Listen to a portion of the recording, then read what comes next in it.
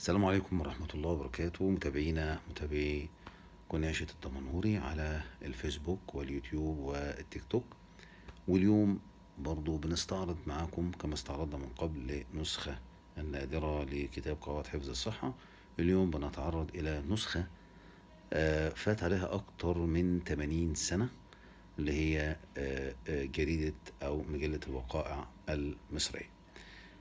العدد اللي معانا النهارده هو العدد رقم بداية يعني أفرجكم على حالة إيه المجلة سريعا. حالة المجلة طبعا وجدتها بصراحة يعني لا أدري يعني إن كانت إن هي ممكن تكون أيام الزلزال 92 اللي حصل في مصر. تمام؟ زي ما أنت شايف طبعا ال- الوضعيات الورق. وضعية عايزة تتجلد طبعا بس هي طبعا أرزاق بقى يعني تمام؟ آه اللي أنا عايز أقوله لك في في الملحق دهوت إن هو كالتالي الملحق ده آه هو العدد 162 الصدر في آه يوم الاثنين ذي القعدة 1959 2 ديسمبر سنة 1940 على السريع الجزء الأولاني ده كله اللي هو المحجوزات الإدارية. تمام؟ كل دي محجوزات إدارية وكل مديرية بيجيب لك الحجز الإداري. الحجز الإداري بيبقى آه في مستحقات أمرية فتم الحجز على قطعة الأرض اللي موجودة أو إنه طبعا آه تم الحجز على الأرض مثلا نتيجة إنه كان في سلفة من بنك التسليف الزراعي وما تمش التسديد. تمام؟ وكل مديرية بينزل لها ال- الحاجات بتاعتها مديرية البحيرة. طبعا أنا في العدد ده وجدت إن البحيرة وجدت إن الغربية تمام؟ وجدت المنوفية. بعدين وجدت والجيزة. كل ده آه، آه، حاجات كتير جدا. طبعا الفيوم هنا خدت من 17 إلى صاد تقريبا آه، 22 تمام؟ صاد 22 وكل الكلام يعني بيدور حوالين إنه لم يتم إيه؟ السداد المستحقات الأميرية وبالتالي بيتم الحجز على قطعة الأرض. ده الجزء الأولاني. طبعا أنت ال...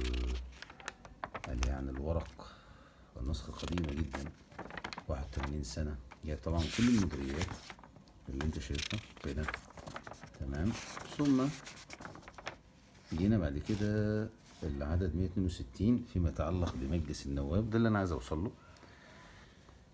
آه، مجلس النواب هنا آم، يعني إيه؟ ده مضبطة الجلسة بتاعت يوم 18 آه، من شوال 1359 الموافق 18 من نوفمبر سنة 1940 وهنا هتلاقي آه انه ال- تم ال- بالنسبة للكتاب من رئاسة الوزراء زي ما انت شايف كده والناس اللي هي تم ترشيحها حسين سري وزير الداخلية والخارجية حلمي عيسى باشا وزير العدل صليب سامي تجارة حسين هيكل باشا الأديب وزير المعارف مصطفى عبد الرزاق اللي تم إيقافه. تمام؟ لكتابه المعروف آه، وزير الأوقاف عبد القوي أحمد أحمد عبد الغفار عبد المجيد إبراهيم صالح علي إبراهيم طبعا دكتورنا وزير الصحة حسن صادق بيك آه، محمد عبد الجليل سمرة يونس صالح باشا. وبعدين تم الاقتراع هنا على مين يكون آه، رئيس المجلس النيابي. طبعا تم الترشح فنال آه، أحمد ماهر باشا 130 ونال إبراهيم دسوقي باظة 109 ونال آه، إسماعيل صدقي 2 صوت سيد عيسوي صوتين وتوفيق دوس آه، آه، صوت واحد.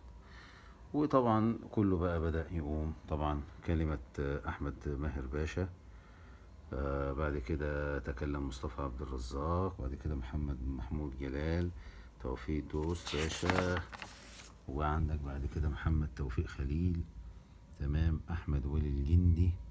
وعبد الرحمن البيلي وكله تم ترشيح أحمد علي باشا.